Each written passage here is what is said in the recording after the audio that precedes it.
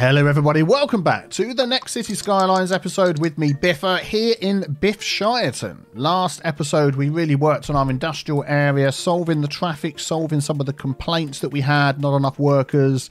That's a big one. A lot of people really enjoyed that episode. This episode, we're going to try and take a look at, I think, our mass transit and some of our roads, because as you go around fixing the city, you will often find you'll fix one problem and it pushes sort of a problem elsewhere in the city. And let's be honest, this isn't the best designed city ever.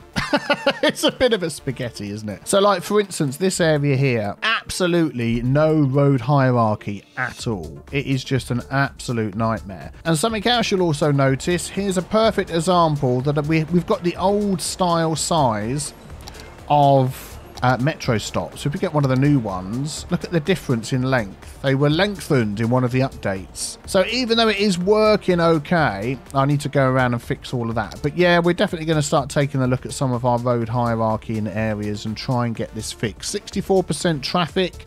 As always, despawning is turned off. If I turned that on, I think our traffic would go up probably to about 70%. But yeah, the lack of road hierarchy is really causing a problem and we've got a few. Oh, this this is like this is good. This is a good idea, sort of. It's a bit winky wonky, but you can see where people are struggling to come out. Let's just do a bit of lane mathematics on here. I think that would help a lot. Uh, I'm going to leave the lane mathematics on that junction there, and we're going to just do this one here. So you've got roads coming on, on, on, and here, where does that go? Well, that goes underneath, comes on. There's a lot of coming on, but not a lot of going off. Yeah, okay. So we can't do lane mathematics because three lanes plus one is four lanes, plus one is five lanes, plus one is six lanes. By the time we get over here, we're going to have so. Uh, do you know what? Actually, let's follow the rule. Yeah, I've got a bit of a cold. Uh, let's follow the rules and see what would actually happen. Go on, let's do it. So we've got four lanes, three plus one. Uh, let's upgrade that this bit here to four. And then we could actually let it get back down to three again there. So it means they can come out. Ah, that would be the way to do it. Oh, jumpy game. So we'll do the same here. Four, then they've got a node to switch. Four we've already got, and then they've got a node to switch. And then what we'll do, we'll actually help them come out. And so at least you've all got a lane to come out. Then this node here you can move around if you wish. Same there. Same there. It'll stop them all cutting across each other. It'll just keep this main road flowing, which is what we want. And then they've got this node to change, and they're sort of changing nodes along there, look. Yeah. And what we can do to help out is say, don't switch there. This one, you can switch up. Uh, then don't switch there. And then this one, you can switch down. It just spreads out the lane switching. Look at that. this guy here, do you see him? He went on the dirt. What the heck? brilliant, brilliant. And then we could also do this going the other way. So here we've got lanes going off. So we could do the lane mathematics. Might work a bit better here. So three, one goes off down to two. Then one goes off down to one. Yeah, go on. Might as well.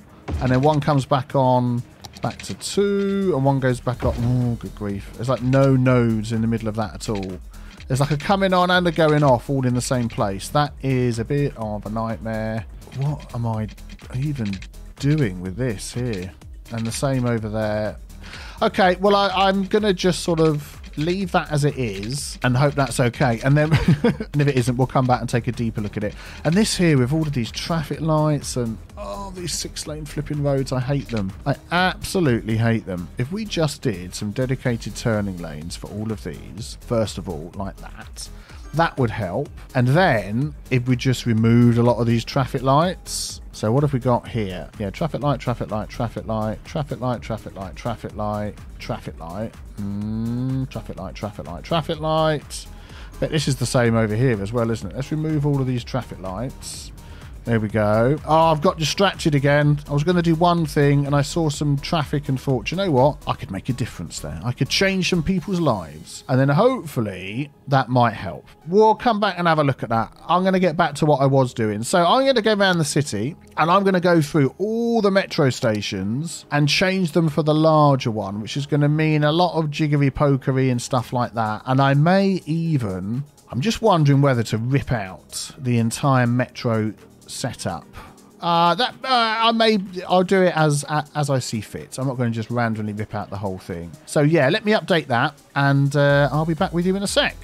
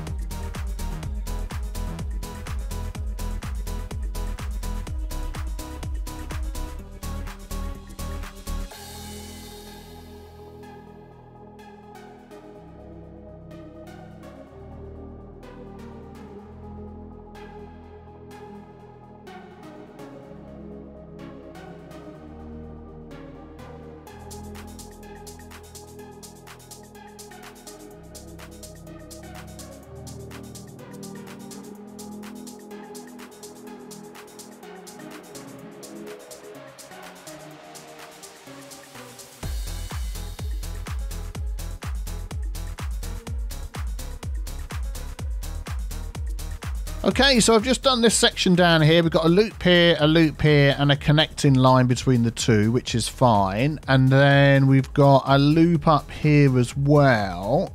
And we've also got this line, whoop, jumpy game, this line that goes up here, although it looks like it's going to just take a while for all the stops to sort themselves out uh, since I've changed some things. I think these two actually need to just move over here for the game to start picking up what's going on. Cannot find a path. Does that mean I've not connected something up correctly somewhere? I will check that. Anyway, so I, I just like to do that with my Metro. I'll have loops in an area and then connecting lines between them. There's a connecting line up to here, which takes all of those in, which is fantastic. Uh, this one up here again has got like a loop going round. No connection to this Metro over here, which I think I'll leave it like that. I think that'll be fine. So now I'm going to look at this one. You can see what I've tried to do again. We've got like a little loop here, a loop here, a loop here. Yeah, I think maybe I'll expand these loops, make them a little bit bigger.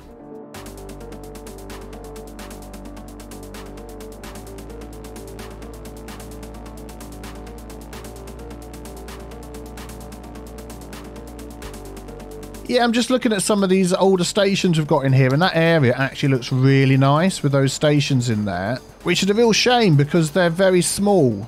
And I've sort of, I've used the picker mod just to grab that and see if we place it again, whether it's going to change the size. And it's still quite small, and this is so congested in there. I'm not sure it's a good idea to keep those, so unfortunately they are going to have to go as well.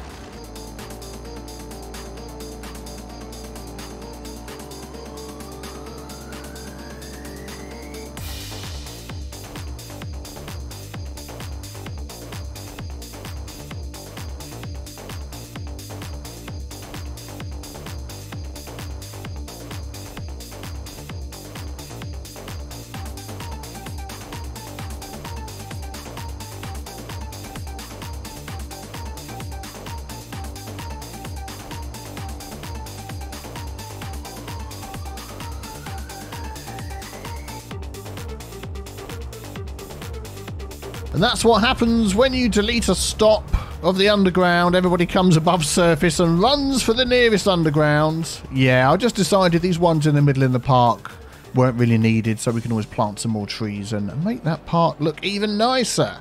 So I'm going to let this game run for a few minutes until it's sorted out these stops again.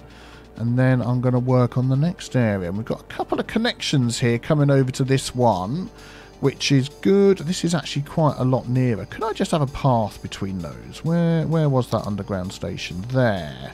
So they could walk up there, cross over the road. If I just put a path from there to there, I think they would walk.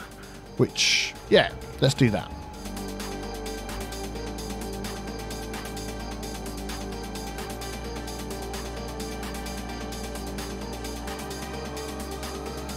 There you go, already people walking across. Fantastic. Right, that's this area fixed. We've got a clockwise and anti-clockwise loop. Um, it also has a little line coming down here to connect to this loop in this section. And yeah, that's working okay. Goodness me, this is going to take me ages. I've done this bit, this bit, and this bit. Well, oh, I've only got this bit up here left to do. Oh, good. Okay. Let me get that sorted as well. Let's have a quick look. What have we got? Yeah, same sort of thing. We've got little tiny loops, little tiny loops, little tiny loops. I'm just going to make this, I think, a much larger loop with a stop coming down from the top in the middle and then coming up from the bottom into the middle as well. Yeah, that'll work fine. Okay, pretty sure I've got all of them set up and done, and I've spotted a few little places where we can add some paths in. Like we've got this, this is our industry area with our metro loop going through these houses. We've got these loops over here with more houses and shops.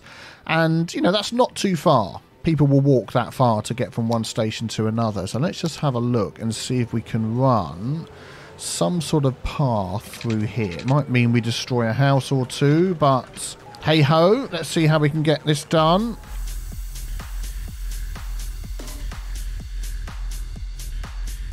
There we go, that should do. We connect to that road, they can walk down here and head up to the station. Fantastic. So, what I am going to do is, I didn't make a note of this before, is I'm going to go back and load up my old save uh, before we started this. 86 metro lines, good grief. Uh, I'm also going to go through and change all the colour so it's easy to see. And I'm going to see how many people were using our metro before. I'm going to let this run for a while and see how many people are using the new and improved metro. There's also a couple of lines that have got zero vehicles, so we'll just get rid of those.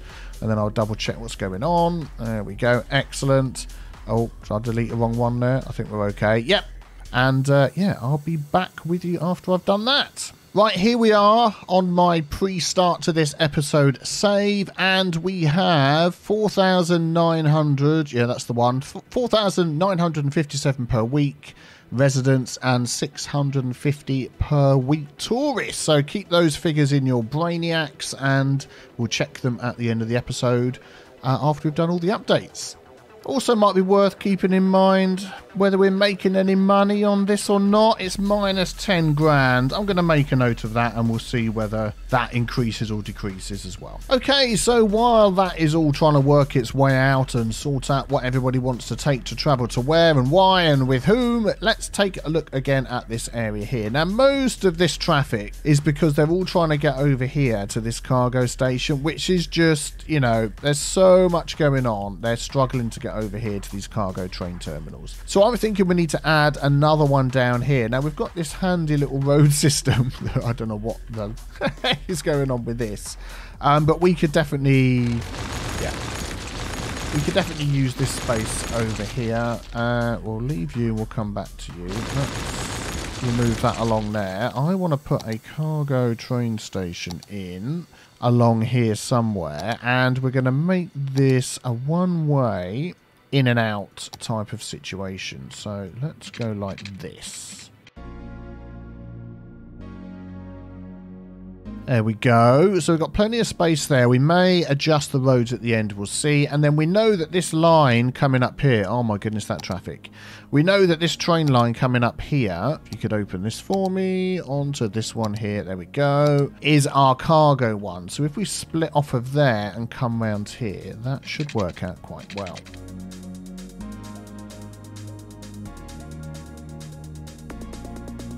And then I'm also just thinking about changing the roads that we've got in here. I mean, it's nice having this one-way sort of system thing going on. I'm thinking we're going to keep the outsides Mm, I'm not sure. I want to change these internal ones anyway to these to these roads. with the medians down here. There we go. There we go. I think that's going to work a lot better overall. Gives everybody options of different places they can go. And then I may even change these external... Whoa, jumpy game. Thank you for making me change the wrong roads. Let's change that one. And then I may even change these external ones as well around the outside to these four lane roads because it's just going to make it better when you come to a junction. You're going to have a junction like this, and then when you put in your dedicated turning lanes, you've got one for left, one for straight on, or one for right and one for straight on. I think that's just going to work much better overall. Because I think I'm right in saying that most of the junctions in this area are three-way junctions anyway. There's not many four-way junctions. Can I change that one there? Yeah, there we go.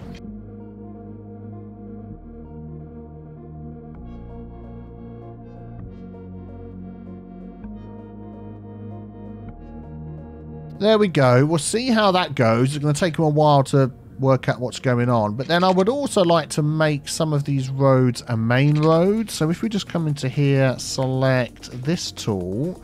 No, come into here and select that road. And then we can say adjust road. Okay, so at the minute, it's going all the way up over there. What I want this to do, can I like drag that all the way around to connect up there? And then can I bring that one back all the way to there? So that's going to be one main road all the way round and then I'm going to say on there put give way signs to all the roads coming on. I'll check this section at the top in a moment and then we're going to do the same over here. So this road I want this to go all the way up there like that. There we go and we'll say give way signs to all the roads coming on and then this is just like a little separate road up there. So let's take a look and see how that is working. The only thing it doesn't do when we do that is do the dedicated turning lanes, which I thought it used to do that automatically. So that's slightly annoying. There's a four-way junction there. We'll take a look at that in a sec. Yeah, let me just go around and add all of these in.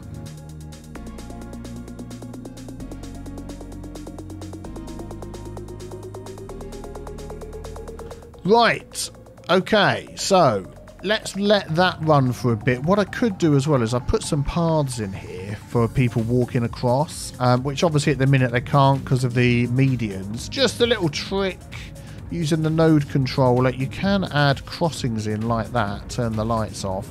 I don't think we're going to get many people using these anyway because most people are driving, aren't they? They're dropping off trucks with goods and stuff like that. But as I've got them in here, I may as well just go along and add the crossings in. There we go. And over here.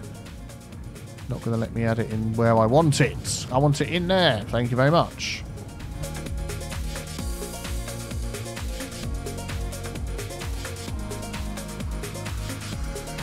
And then I'm just going to check there isn't any traffic lights in any weird spots spots. We don't really need those clogging up the place. I think we're okay, to be honest. Yeah, that looks okay. That looks okay. Yep, that's fine. And we've already got people starting to use this, which is fantastic. Now, what we could do on some of these roads, where there's a three-way junction, two lanes coming in works perfectly. You've got a lane for every direction. But then when you get a four-way junction like this, there's just not enough lanes. So we do have a 3 and a 2 asymmetrical road which, for instance, if we do that and then did... I'll tell you what we'll do, actually. We'll do this first. So we need it there. We'll have that one. Yeah, that was right. And then we need it there. And then if we do our dedicated turning lanes... There we go. So we've now got dedicated turning lanes coming into the junction. That might just work a little bit better. Are we going to need that coming out? Let's have a look. Oh, people are using our cargo train station. Uh, so that means a lot less of these trucks are going to be trying to head through these junctions at the top. That was the idea. And then as you get here, yeah, there's not quite enough lanes here, is there? Because we've got left, right, and straight on. So if we upgrade that to three lane, and then again, I'm going to use my asymmetrical roads coming into this junction like that. And then we'll do control left click with that one. Dedicated turning lanes in every direction. Nice. Okay, so just taking this left-hand side section here, it's actually okay. If we look at the top, there's not too much traffic, even though the roads are a bit wiggly and all over the place. There's not too much traffic coming into the section. Where they're moving down here, it's all moving okay. This is a bit of an issue. We've got a lot of cars coming in, and they're sort of getting a bit blocked up here. I think this definitely needs to be a roundabout. What is that building there? Uh, it is a hospital, um, so that may move. So let us just take a quick look at this. Yeah, we're definitely going to move that hospital, which is a bit weird to have over here. I've got to be honest. Could we just pop it in over here somewhere? Yeah, let's do that. Get it out of the way. So I definitely think a roundabout here is going to work much better.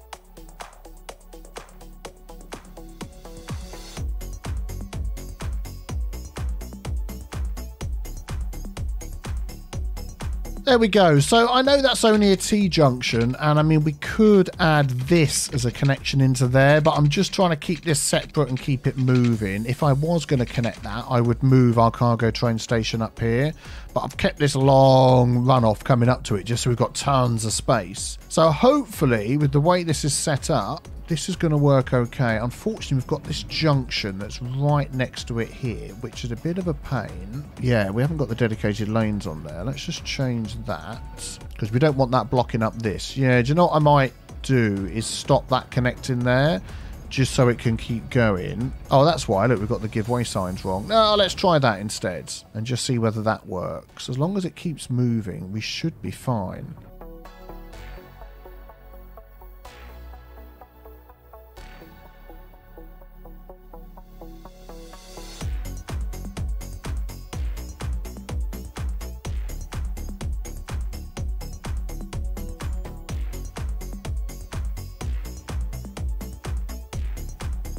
Ah, there we go.